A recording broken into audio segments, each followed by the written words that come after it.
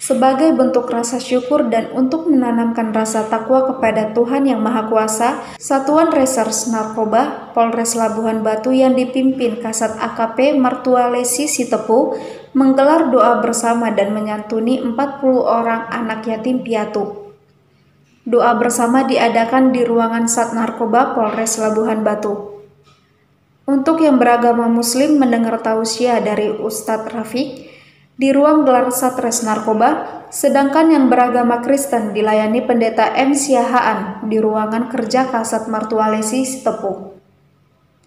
Kasat Narkoba Polres Labuhan Batu AKP Martualesi Sitepu menyampaikan kegiatan doa bersama dan berbagi kasih menyantuni anak yatim piatu merupakan ucapan rasa syukur dan untuk menanamkan rasa kebersamaan umat beragama untuk takwa kepada Tuhan Yang Maha Kuasa. Selesai kegiatan, Sat Narkoba memberikan tali kasih dan nasi kotak serta membuat video ajakan bersama untuk sukseskan Pilkada Damai Labuhan Batu Raya 2020 pada 9 Desember mendatang.